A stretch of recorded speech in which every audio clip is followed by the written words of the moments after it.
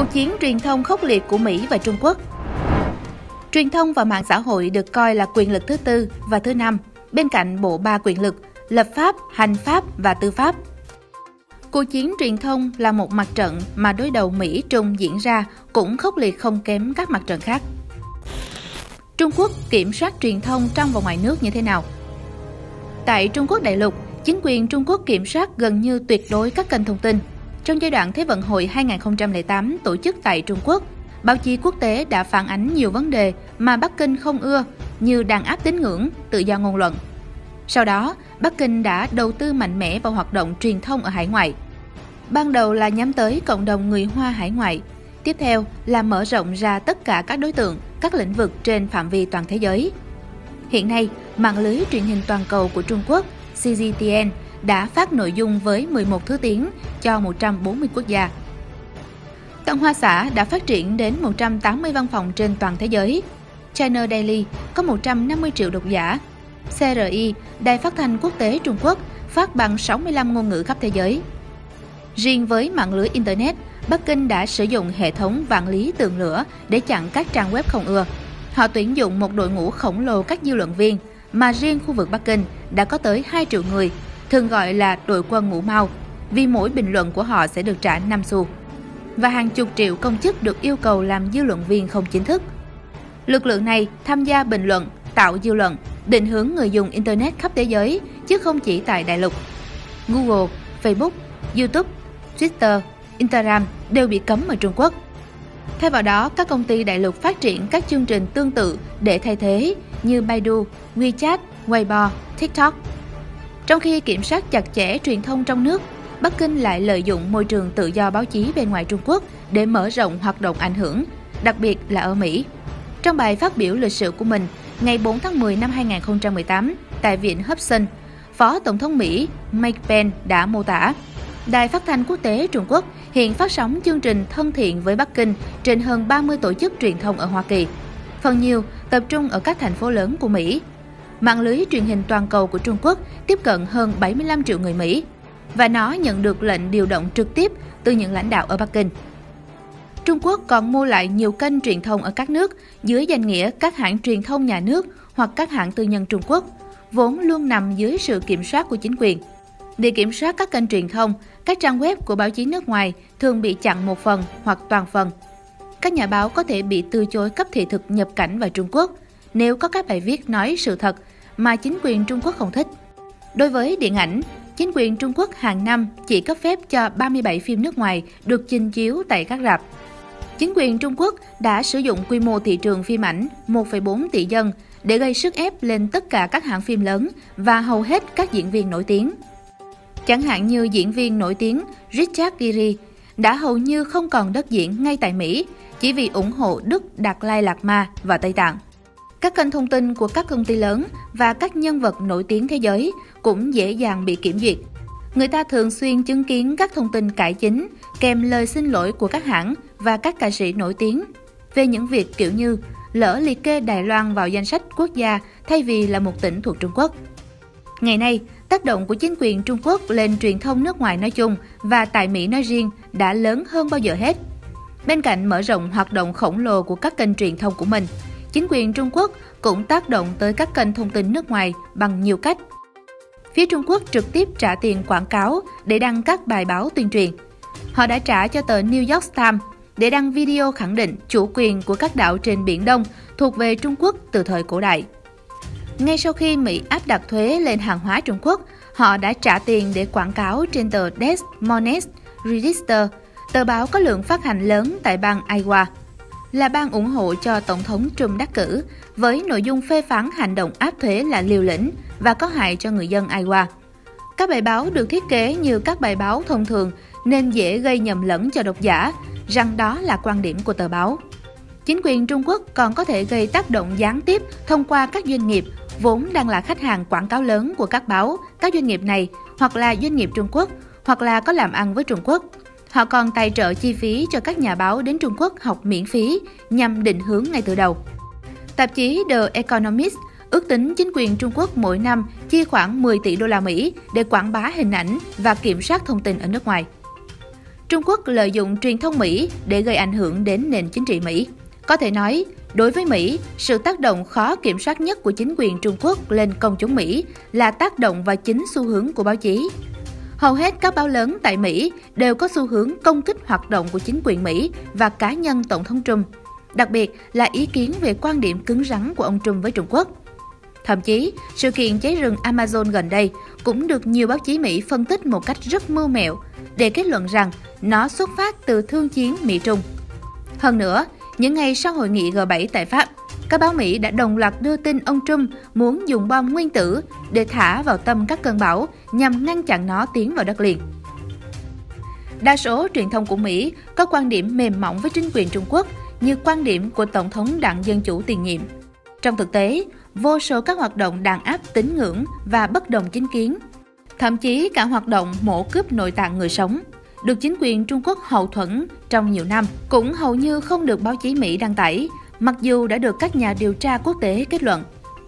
Có một điều trớ trêu là các tờ báo Mỹ thường xuyên than phiền vì bị chính quyền Trung Quốc chặn ở đại lục. Thậm chí phiên bản tiếng Trung của The New York Times đã phải dừng hoạt động năm 2013 vì không đủ kinh phí duy trì do bị chặn vào thị trường đại lục. Nhưng họ vẫn sẵn sàng nhận quảng cáo cho chính quyền Trung Quốc tại Mỹ và hạn chế tối đa việc đưa thông tin về những vấn đề nhạy cảm với chính quyền Trung Quốc. Có thể nói, nền báo chí tự do nói riêng và quyền tự do nói chung của phương Tây đã và đang bị kiểm duyệt và tha hóa bởi chính quyền Trung Quốc một cách vô cùng tinh vi. Sự thật này cũng lý giải một phần về các tham vọng bá chủ thế giới mà chính quyền Trung Quốc đặt ra trong những năm gần đây, cũng như sự coi thường công luận thế giới về nhiều vấn đề. Họ có thể tuyên bố âm mỹ về việc không quân sự hóa các đảo ở Biển Đông trên truyền thông và cả trong cuộc gặp giữa Chủ tịch Tập Cận Bình với Tổng thống Donald Trump. Nhưng trong thực tế, họ vẫn thực hiện việc lắp các dàn tên lửa, xây dựng đường băng như chưa có gì xảy ra. Truyền thông Trung Quốc từng khoe khoang về thành tích ghép tạng với số lượng khổng lồ. Nhưng sau khi bị chất vấn bởi giới bảo vệ quyền con người về nguồn hiến tạng, họ giải thích đó là nguồn tự nguyện. Nhưng sau khi dữ liệu về nguồn hiến tạng tự nguyện được thống kê gần bằng không tại Trung Quốc do lý do văn hóa, Bắc Kinh lại lý giải loanh quanh là do nguồn tử tù. Nhưng rồi, chính nguồn tạng của tử tù cũng lộ ra là không đáng kể so với hàng triệu ca ghép tạng được thống kê thực tế bởi các nhà điều tra quốc tế. Cuối cùng, Trung Nam Hải chỉ còn lại sự im lặng trần tráo. Chúng không dám thừa nhận một sự thật khủng khiếp là đã mổ cướp nội tạng của hàng triệu học viên Pháp luân công. Xã hội phương Tây chưa từng gặp phải những tác động to lớn và sâu rộng như hiện nay khi phải ứng phó với sự thao túng trên quy mô toàn cầu và bản chất dàn dối trắng trợn của truyền thông Trung Quốc. Những kinh nghiệm có được từ thời đối đầu với Liên Xô và với phát xít không thể so với xung đột hiện nay. Từ phía Trung Quốc, Bắc Kinh đã sử dụng tất cả những kinh nghiệm trong quá trình kiểm soát, khống chế xã hội Trung Quốc từ mấy chục năm qua để thực hiện tham vọng kiểm duyệt, tiến tới khống chế xã hội phương Tây nói riêng và thế giới nói chung. Đạo đức giả, lợi ích và đe dọa lợi ích, giả vờ cùng phe, đi đêm với người đứng đầu, tuyên truyền cường độ cao và liên tục là những thủ đoạn mà người bên ngoài Trung Quốc khó nhận ra lại càng khó khăn khi đối phó.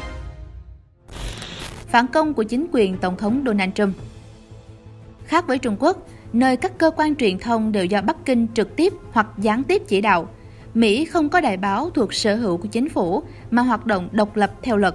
Do vậy, chính quyền Mỹ cũng chỉ có thể lên tiếng cảnh báo hoặc sử dụng công luận để gây sức ép lên giới truyền thông. Nhưng sự tình cũng rất khó khăn. Ngay từ khi đắc cử tổng thống, ông Donald Trump đã chỉ trích báo chí Mỹ đưa tin giả, thậm chí gọi họ là kẻ thù của nhân dân. Do vậy, ngay trong lòng nước Mỹ, cuộc chiến truyền thông giữa một bên là đa số các báo chí lớn và bên kia là Tổng thống Trump liên tục làm nóng xã hội Mỹ. Thực tế là trong chiến dịch tranh cử Tổng thống năm 2016, báo chí Mỹ đã đứng về Hillary Clinton chống lại ông Trump. Trong cuộc bầu cử giữa nhiệm kỳ cuối năm 2018, một chiến dịch chống Trump của hơn 300 tờ báo đã được tiến hành. Do vậy, với sự giảo hoạt của chính quyền Trung Quốc, người ta dễ dàng tin rằng truyền thông nước Mỹ đã bị lợi dụng để trước hết gây áp lực lên ông Trump trong chính sách cứng rắn với Trung Quốc và tiếp theo là gây bất lợi cho ông trong cuộc bầu cử tổng thống năm 2020. Với các mạng xã hội như Twitter, Facebook và công cụ tìm kiếm Google, Cuộc đối đầu với ông Trump cũng đã nóng ngay từ chiến dịch tranh cử. Ông Trump liên tục cáo buộc các nhà mạng này đối xử không công bằng với ông, như chặn người theo dõi, chặn các thông tin tích cực và ưu tiên các thông tin giả về ông và hoạt động chính quyền hiện tại. Trong một giai đoạn, dư luận cảm thấy không rõ ràng về những vấn đề này, cho đến gần đây, khi Kevin Kaniki, Yachari Vohi, các cựu kỹ sư của Google tiết lộ mục tiêu của Google ủng hộ phe dân chủ và quyết không để Trump thắng cử nhiệm kỳ tới. Khi đó, người ta mới tin rằng cuộc chiến truyền thông ngay trong lòng nước Mỹ gay cấn như thế nào.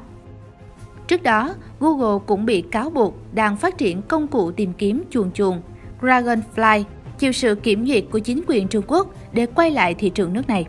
Sự lợi dụng của các công ty như Facebook, Google của chính quyền Trung Quốc còn trở nên dễ dàng hơn khi các công ty này nhiều năm nay vẫn cố tìm cách quay lại thị trường đại lục. Sự việc Google sẵn sàng từ chối hợp tác với Bộ Quốc phòng Mỹ, trong khi vẫn hợp tác với doanh nghiệp Trung Quốc và gián tiếp cung cấp công nghệ trí tuệ nhân tạo cho quân đội Trung Quốc, cho thấy khó khăn của chính quyền Donald Trump khi phải ứng phó với chính các doanh nghiệp truyền thông hàng đầu của Mỹ, vốn đã bị chính quyền Trung Quốc ru ngủ bằng tiền bạc và lợi dụng để cắn gà nhà. Có thể nói, cho đến nay, yếu tố cá nhân ông Donald Trump với quan điểm cứng rắn với truyền thông thiên lệch đang là yếu tố đáng nói nhất có thể thay đổi được trận chiến truyền thông tại Mỹ mà chính quyền Trung Quốc đã góp phần làm tha hóa. Cá nhân ông, song song với tiếp xúc các nhà báo, thì mạng xã hội Twitter và Facebook được ông sử dụng hàng ngày. Mỗi ngày, cả thế giới đều theo dõi những dòng tweet của ông Trump. Trong đó có không ít các đính chính về các tin giả mà giới truyền thông hàng ngày đăng tải. Theo một cuộc thăm dò trước cuộc bầu cử giữa kỳ năm 2018 của CBS News, 91% trong những người ủng hộ Trump tin tưởng Tổng thống luôn cung cấp cho họ những thông tin chính xác. Tỷ lệ này với truyền thông chính thống chỉ là 11%. Cuối tháng 8 vừa qua, các nhà mạng như Facebook, Twitter thông báo họ đã xóa hàng loạt tài khoản do chính quyền Trung Quốc hậu thuẫn, đưa thông tin sai lệch về biểu tình tại Hồng Kông. Sau đó vài ngày, Google cũng hành động tương tự với kênh YouTube. Xu thế cảnh giác với truyền thông giả và với Trung Quốc tại Mỹ ngày càng mạnh. Thậm chí, quan điểm cần cứng rắn với Trung Quốc là nội dung mà hai đảng Cộng hòa và Dân chủ dễ đồng thuận nhất. Ở một khía cạnh khác, với thói quen tuyên truyền một chiều của mình, các kênh thông tin quốc tế của chính quyền Trung Quốc dù đầu tư khổng lồ nhưng thường gây phản cảm với độc giả toàn cầu. Nhất là khi có những sự kiện liên quan đến Trung Quốc như tranh chấp Mỹ-Trung, biểu tình Hồng Kông, thì thái độ tuyên truyền ngày càng thể hiện sự phản cảm. Nội dung hầu như đều mang quan điểm tuyệt đối hóa các vấn đề gây tranh cãi, ham dọa, công kích. Những bình luận bên dưới hầu như là khẩu hiệu của dư luận viên, tuyệt đối ủng hộ. Họ không dám chấp nhận dù chỉ một chút tiếng nói phản biện, không dám đưa thông tin theo nhiều góc nhìn. Thậm chí với nhiều người, chỉ cần xem kênh thông tin của chính quyền Trung Quốc và hiểu ngược lại là biết được sự thật. Có thể nói, cuộc chiến truyền thông giữa chính quyền Trung Quốc và nội các của Tổng thống Donald Trump đã bước sang giai đoạn mới. Cũng giống như các mặt trận khác, người Mỹ đang phản công mạnh mẽ, thậm chí còn đang tạo ra một làn sóng phản công trên toàn thế giới. Ngay trong lòng Trung Quốc, chiến thuật của ông Trump cũng có sự tác động đáng kể. Chiến thuật của ông Trump luôn uyển chuyển, lúc ầm ĩ lớn tiếng hơn cả truyền thông Trung Quốc, lúc lại bất ngờ tỏ ra đầy hy vọng, luôn dành những lời có cánh cho lãnh đạo Tập Cận Bình. Nhưng quan điểm đi đến cùng trong xung đột mọi mặt với Trung Quốc của ông Trump chưa bao giờ thay đổi, chỉ là sự việc và đối thủ rất phức tạp, không thể phơi bày sớm với công chúng. Cũng giống như các mặt trận khác, bản chất của cuộc chiến Mỹ-Trung lần này là cả hai bên sẽ bảo vệ quan điểm của mình đến cùng. Do sự khác biệt về nền tảng ý thức hệ, nên sẽ là một mất một còn. Xét rộng hơn, xung đột Mỹ-Trung lần này là vấn đề toàn cầu, đại diện cho hai thái cực chính trị chi phối thế giới. Đây là cuộc chiến giữa thiện và ác, chính và tà.